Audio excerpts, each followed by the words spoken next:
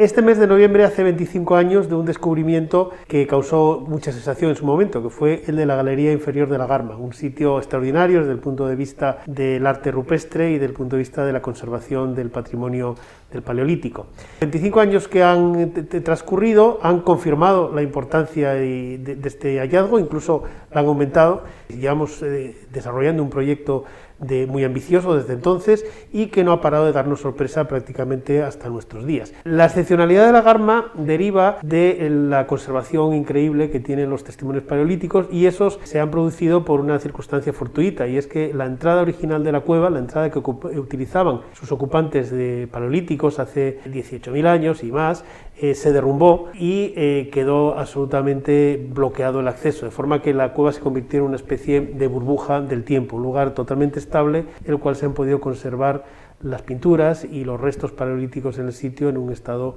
eh, único en el mundo.